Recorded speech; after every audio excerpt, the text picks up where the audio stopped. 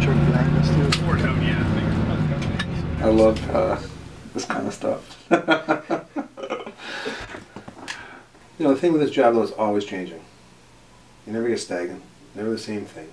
Every call, medical call is a medical call, medical call, sure, but there's always something different. We're going to a medical call that came in as a code red, which means that there is potentially uh, a violent crime. The update we got was someone possibly stabbed in the neck.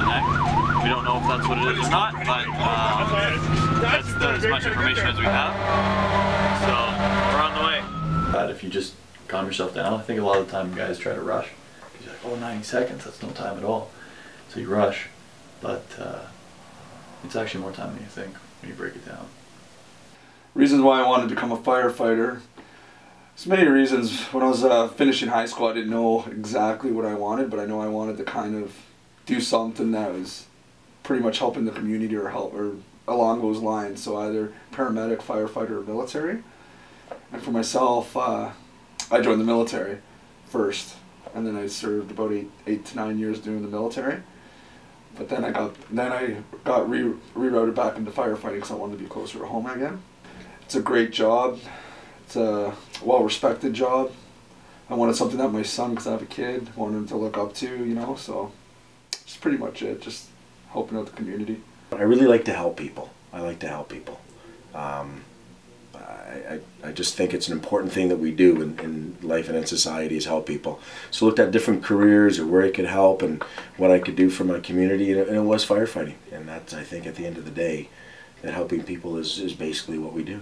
You know, are you a team player? Uh, are you willing to uh, trust others and be trustworthy? It, it comes down a lot to the type of person, type of characteristic that you have, the type of character you have as a person.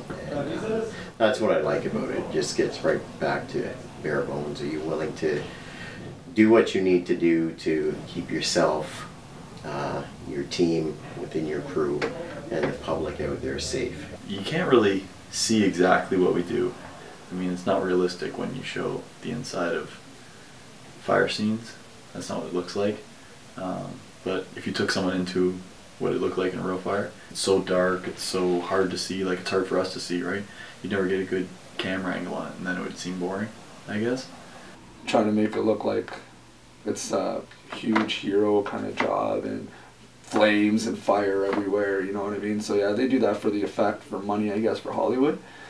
But I, I think they do touch at home with some of the other stuff too. If you watch some of the movies, like the camaraderie between the, the crews and stuff like that, you do get to know the guys you work with really well. To be honest with you, the firefighting is uh, it can be sensationalized within itself in the real life. I mean, it it's a pretty neat thing. Uh, some of the calls we get to go to and and some of the things we do.